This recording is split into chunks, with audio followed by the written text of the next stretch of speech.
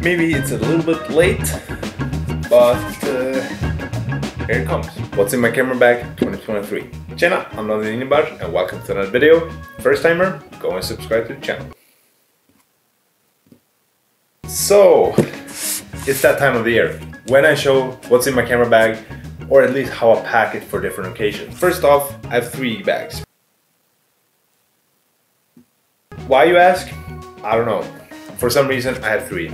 But when I go on longer trips, I go with this one, the Think Tank, because it fits my laptop, that's why. And when I go for a photo shoot, I use this one, SP Tech, because it fits most of my gear and if I'm bringing two cameras, they both fit in here. Speaking of cameras, I almost always bring two camera bodies. My G9 for photos and the GH5 for videos. The G9 goes in the main slot and for the most part I just grab the GH5 in my hand just so I can film with it at all times. I've been trying to bring less gear with me these days and therefore pretty much always packing my G9 with the Canon 24-70 but if I know I'm going on a photo shoot, the 30 and 56mm Sigma lenses is going as well. I also have a 19mm lens but that's mainly stuck to my GH5. But I'm looking to switch it to a more vlogging lens. Maybe a 12 will do the trick because the GH5 is a micro four third. The 19mm lens is equal to 30, 35mm. And to film myself, I like to have a lens with a bigger field of view. If you have any tips on a new lens with a huge field of view that fits on a micro third? write that down in the comments. I used to have a Rode mic, but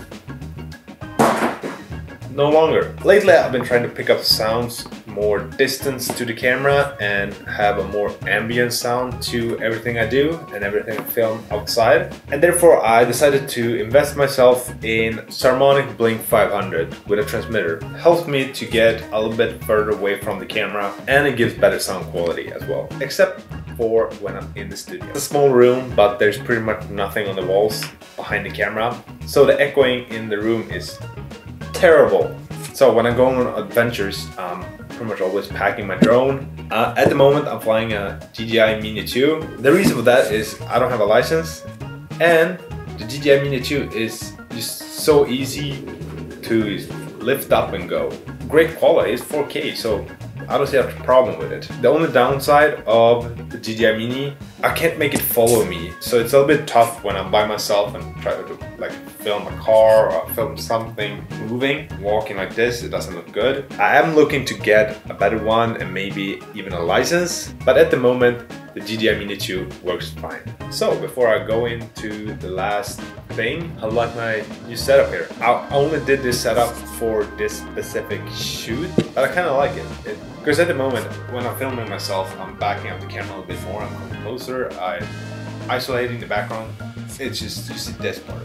It doesn't look like really appealing so, last but not least, the most important part in my camera bag, I always make sure to pack at least one or two of these and keep it in the bag at all times. That's dextrose. Most important part for me. I always make sure to have yeah, one or two packs in the bag. So I never need to worry about not having. If it comes with me everywhere anyway, there's always, I always have it packed in, the bag just in case my glucose drops. That's what's in my camera bag 2023. Do you pack anything special in your bag? Let me know in the comments. As long as it's not illegal, it's fine. So, please leave a like, don't forget to subscribe, so I'll see you in the next video. Ha det. I can't do this, but ha det.